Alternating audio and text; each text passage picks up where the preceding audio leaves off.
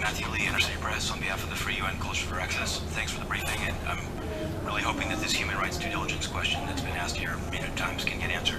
I wanted to ask Mr. Ladsous, uh, I wanted to ask, and I've asked here a number of times about the human rights due diligence policy.